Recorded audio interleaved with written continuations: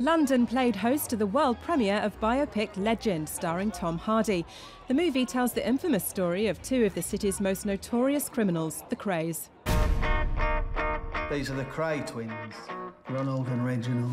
The brothers are both played by Hardy, with help from a little camera trickery, which means the star appears in almost every scene of the film. Do you like being a gangster?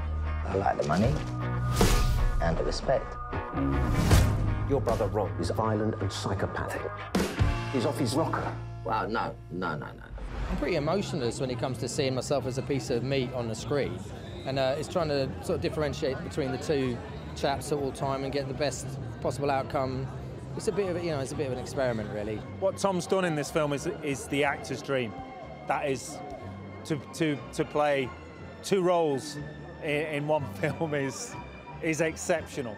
It's really important to him that it's good. He just cares a lot about what he's doing, and it kind of taught me that I should never be phoning it in when he's doing that much work. Yeah, is that something you could aspire to do, do you think? Uh, yeah, yeah, but I'm getting too old. Legend follows the twins' exploits, from their crimes and prison time to their flashy lifestyles, rubbing shoulders with the stars. They were glamorous. They did have these nightclubs. People went to them. People still talk about them to this day. And there was an element of glamour to them, with the, with the caveat being that glamour, being glamorous doesn't mean you're good. I think I think people like to go off and sit in and watch. You know, they've always enjoyed war movies and gangster movies and horrors or whatnot because you can go somewhere and watch in a quiet, dark room. You know, things that you probably never get up to or do in your life, or you know, dare to do.